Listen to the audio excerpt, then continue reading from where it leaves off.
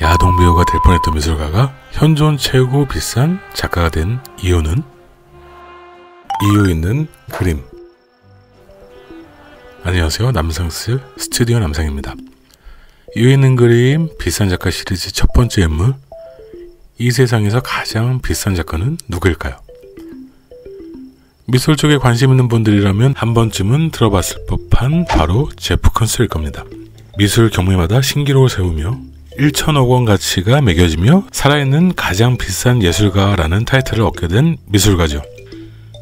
사실 그에 대한 이야기는 어디서부터 시작해야 될지 모르겠습니다. 워낙 이슈가 끊임이 없었고 그의 작품이 말도 안 되게 비싸며 현대 미술을 이해하는데 다가가기 쉬운 미술가이기 때문이죠.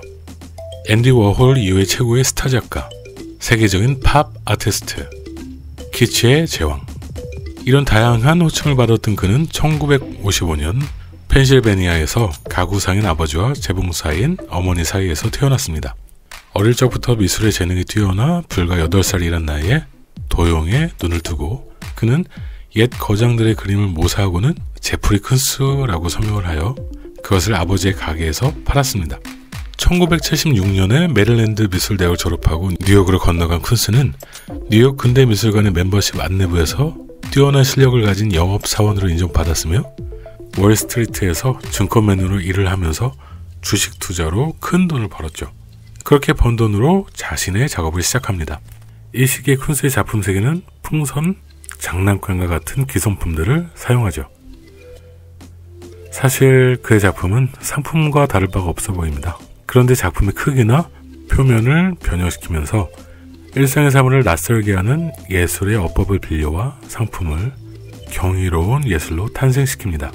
예술을 상품으로 만들고 쇼핑을 하듯 예술을 살 수 있게 하는 것이 바로 그의 전략이죠.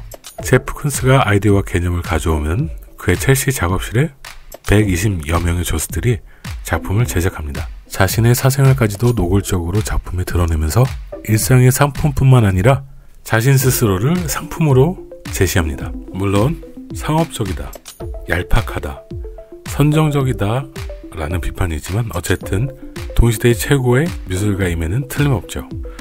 지금 그리고 있는 강아지는 그의 대표작이라고 할 수 있겠습니다.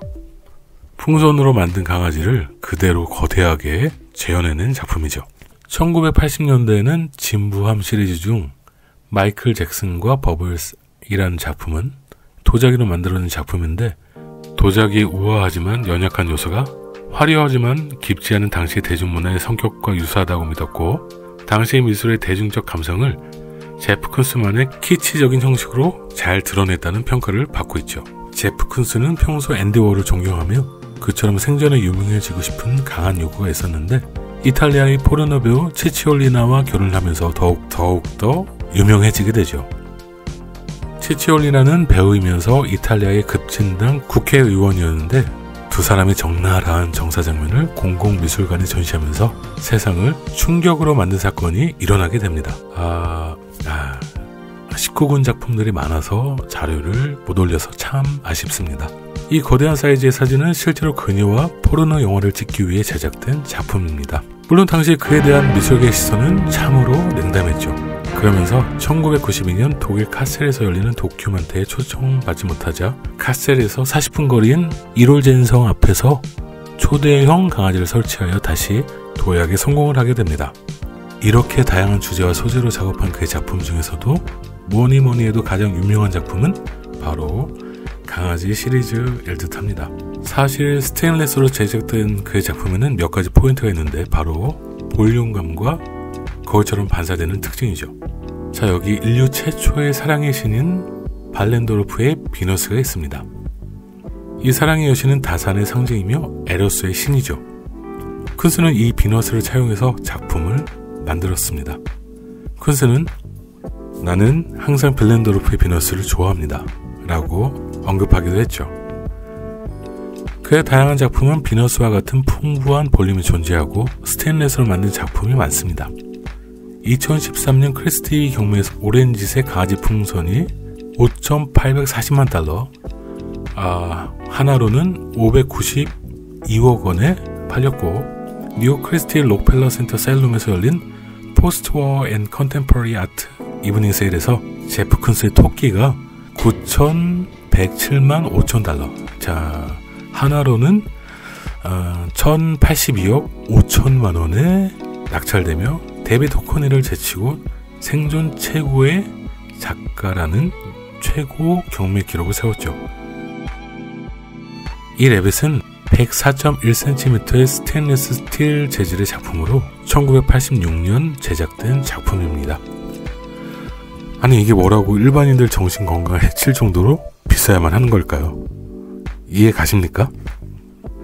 사실 그의 작품은 흔히 봐왔던 물체를 사실과 같은 정교한 마무리로 마감해서 실제 그것이 예술품인지 아니면 상점에서 보던 상품인지 경계를 무너뜨리게 됩니다. 스테인레스 재질을 이용한 작품들은 사물을 그대로 반사하는 특징이 있습니다. 소크라테스의 너 자신을 알라 라는 말은 미술사에서 흔히 거울로 상징이 되는데 사람들은 그의 작품 앞에 서면 있는 그대로를 비추게 됩니다. 아름다운 사람은 아름답게, 추악한 사람은 추악하게 비추겠죠. 솔직하게 관찰되어지는 거울처럼 비추는 그의 작품 앞에서 사람들에게는 빠져드는 묘한 매력이 있나 봅니다. 자, 이제 분홍색 스테인레스의 예쁜 풍선 강아지가 탄생했습니다. 참 말도 많고 탈도 많고 다양한 재료와 메시지를 전달하는 비싼 작가 제프 쿤스. 어쨌든 그의 작품은 현대 미술을 대중들과 더욱더 친숙하게 해준 매개체적인 인물에는 틀림없죠. 이후에는 그린 가장 비싼 작가 시리즈 첫 번째 인물 제프 쿤스. 재밌게 보셨습니까? 시청해주셔서 감사합니다.